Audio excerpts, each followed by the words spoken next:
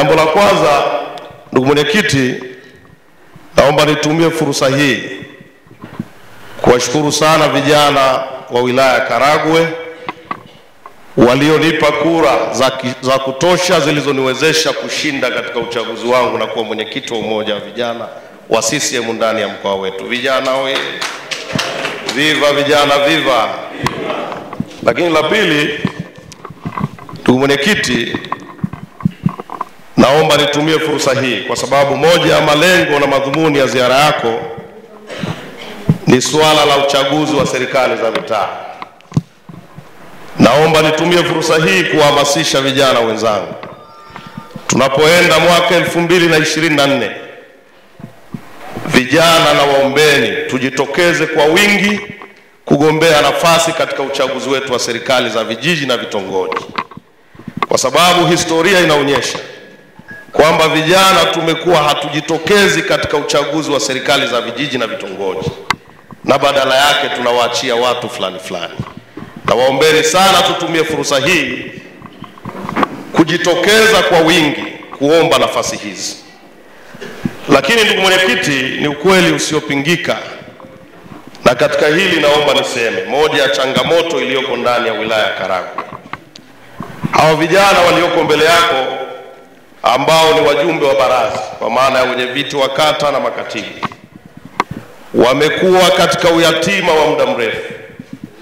Wilaya hii, ndugu mwenyekiti, leo ni zaidi ya miezi kumi hatuna mwenyekiti wa umoja wa vijana ndani ya wilaya hii.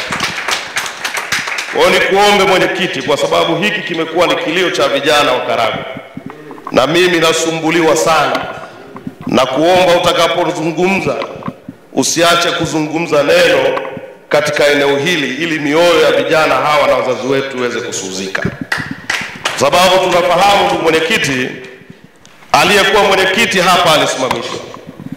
Lakini jambo hili si tunachohitaji kama vijana. Kama ana hatia, basi tumweke pembeni, tupate kijana mwingine wa kuongoza vijana, na kama hana hatia, ndugu mwenyekiti, tunaomba mturudishie mwenyekiti wetu, ili katibu na mwenyekiti waendelee kufanya kazi, waendelee kufanya kazi na kukisaidia chama katika maeneo yao, kwa sababu ni ukweli usiopingika kwamba hata katibu wetu wa umoja wa vijana anapata shida kufanya kazi bila kuwa mwenyekiti. Lakini pia ndugu mwenyekiti, leo tunahamasisha vijana wajitokeze katika uchaguzi.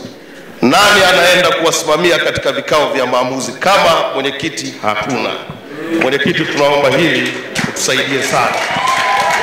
Lakini jambo la mwisho, ndugu mwenyekiti, sisi umoja wa vijana, jana nilizungumza tukiwa Ngara, lakini Biharamulo, vijana tunapoaminiwa tunafanya vizuri. Nadhani tumemwona mwenezi wetu kijana aliyetokana na umoja wa vijana, lakini tumesikia watangulizi waliozungumza hapa wakisema mambo makubwa anayoyafanya mheshimiwa mbunge wa jimbo hili ambaye pia ni kijana mwenzetu.